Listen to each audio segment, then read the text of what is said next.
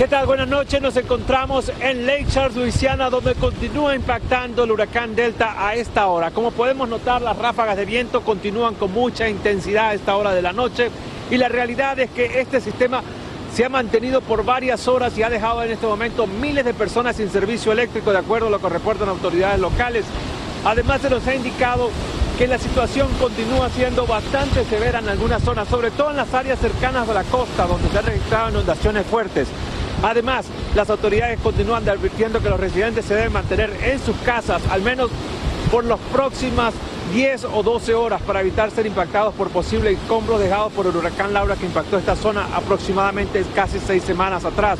Ahora bien, como podemos notar, esta es la intensidad de los vientos a esta hora de la noche, una intensidad bastante fuerte que se mide no solamente en la lluvia que viene de todos lados, sino también cómo los árboles están siendo y registrando la intensidad de este viento. Repetimos, el huracán Delta continúa impactando a esta hora de la noche el suroeste de Luisiana.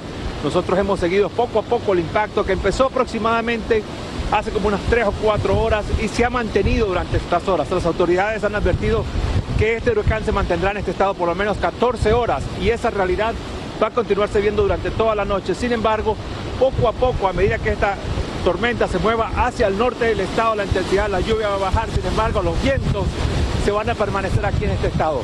Para muchas las autoridades lo que continúan insistiendo es que la gente se mantenga en su vivienda, al menos para evitar que los escombros les afecten durante las horas de la noche y las primeras horas de mañana sábado. Es la información desde Lake Charles, Luisiana. Regreso con ustedes al estudio.